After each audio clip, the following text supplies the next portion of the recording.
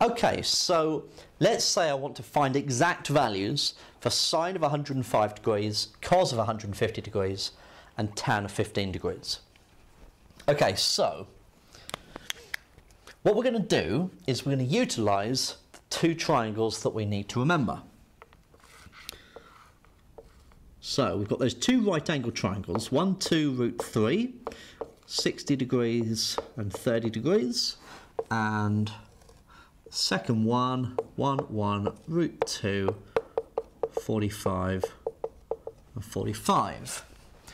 Now, sine of 105 degrees is the same as sine of 60 plus 45.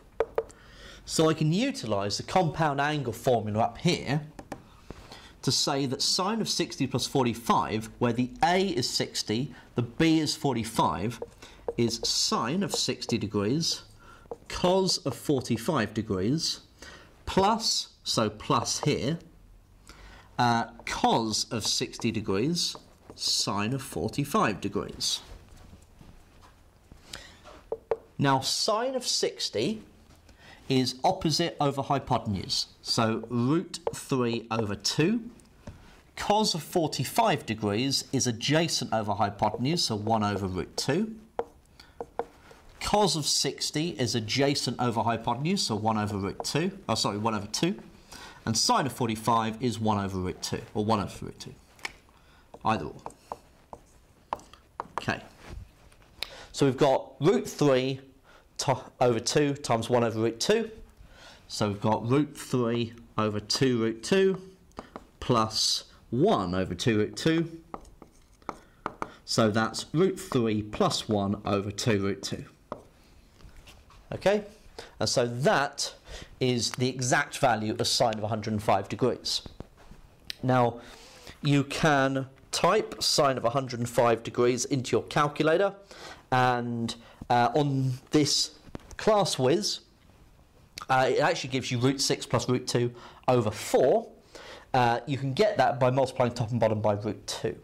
Okay, but you cannot uh, guarantee that your calculator will, is going to find every value for you. Okay, you need to show the process. Cos of 150. So 150 can be gained by adding 90 and 60 together. Okay, so um, cos of 90 plus 60 using this formula here will be cos 90 cos 60. Now because that's plus this must be minus sine 90 sine 60. Now cosine of 90 degrees, uh, thinking about the curve, is 0. So that's 0 times, well, we'll find cos of 60. So that's adjacent over hypotenuse, so 1 over 2.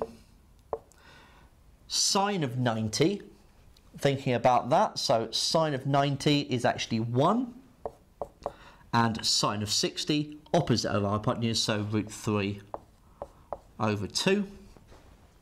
So this is just minus root 3 over 2. Okay, so checking on your calculator, cos of 150 minus root 3 over 2. Okay, if your calculator is giving you a decimal value, you can always type minus root 3 over 2 to check that you've got the same result. And then finally, tan of 15.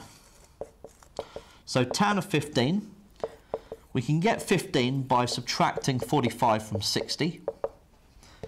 So tan of A, so tan of 60, uh, because that's a minus, this has to be a minus, so tan of 45, all over 1. Now, because that's a minus, this is a plus, tan 60 times tan of 45. So tan of 60 is opposite over adjacent, so root 3. Tan of 45 opposite over adjacent, so 1.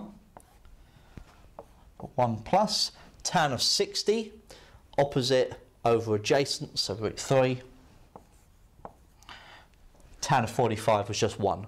So it's root 3 minus 1 over 1 plus root 3. calculator, tan of 15, gives the 2 minus root 3, which can be found by multiplying top and bottom of this by 1 minus root 3, so rationalising the denominator, and you should get to the same result.